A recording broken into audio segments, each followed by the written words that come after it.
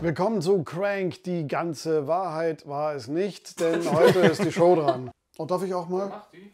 Okay. Ah, ich hab eine Klappe gemacht.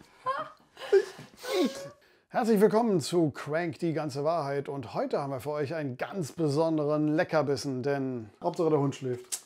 Ähm, und das Ganze wird natürlich getoppt. Wunderbar.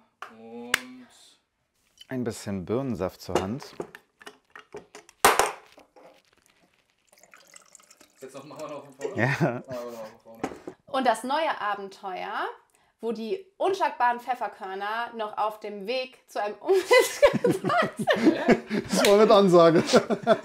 In den neuen Abenteuern ist das unschlagbare Pfefferkörner-Team Team, Die sind beschäftigt.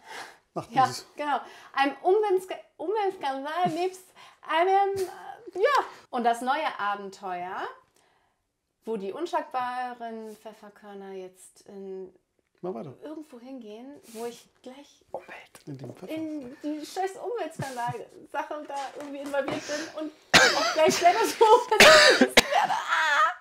Ja, denn Wild Bunch hatte uns ja schon zum ersten Teil die ersten Minuten angefangen und morgens essen wir Zähne rückwärts.